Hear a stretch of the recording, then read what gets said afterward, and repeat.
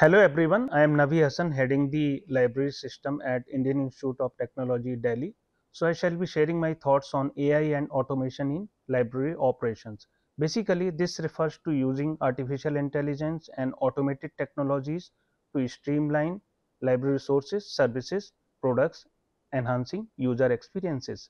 This includes classification, cataloging, sorting, recommending books based on user preferences, automating routine inquiries through chatbots, and streamlining administrative processes.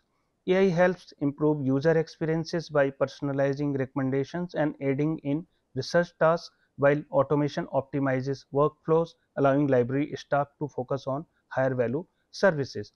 These advancements aim to modernize libraries, making information more accessible and efficient for patrons while supporting librarians in their roles.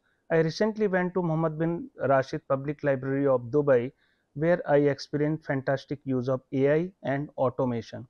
They have employed robots and robotic systems integrated with RFID including augmented and virtual reality tools and providing their library users with the best in class experience. Apart from using integrated automated library operations, IIT Delhi Central Library has also started offering virtual reference services using an in-house developed chatbot named BibDial Plus.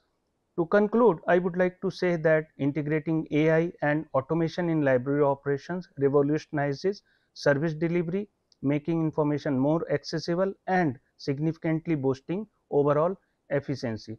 So, in the evolving library landscape, AI and automation will harmonize accessibility, personalization and efficiency, reshaping the very core of user centered knowledge interaction. Thank you.